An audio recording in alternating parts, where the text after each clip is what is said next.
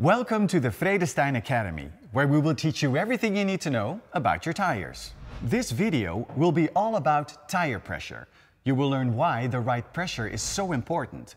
I will also demonstrate how to check your pressure and how to inflate or deflate your tires if needed.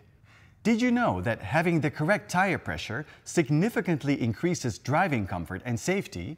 And also, fuel consumption increases when driving on soft tires.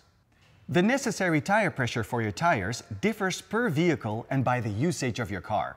The recommended tire pressure for your tires can be found in the guidebook of your car's manufacturer. In addition, the correct pressure can often be found on the inside of your fuel filler flap or in the driver's door. For best performance and safety, check your tire pressure every two weeks or with a minimum of once a month. Also, check them before longer drives, like when you're about to go on a holiday. Make sure you check your spare tire too, if you have one.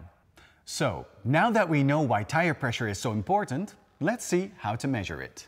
Tires should be checked when they are cold, meaning they have not been driven for at least two hours.